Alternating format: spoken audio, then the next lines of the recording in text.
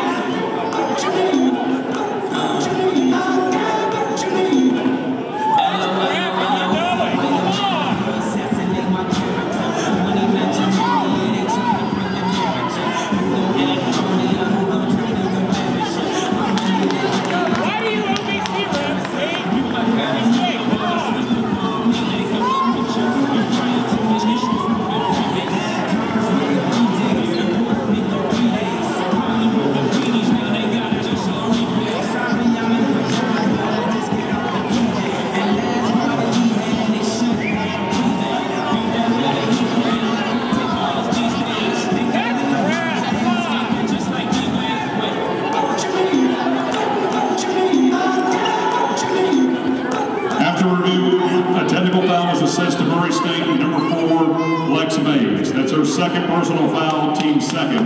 Additionally, two technical fouls were assessed to head coach Rechelle Turner. Those are four team fouls. Coach Rechelle Turner has been ejected from the contest.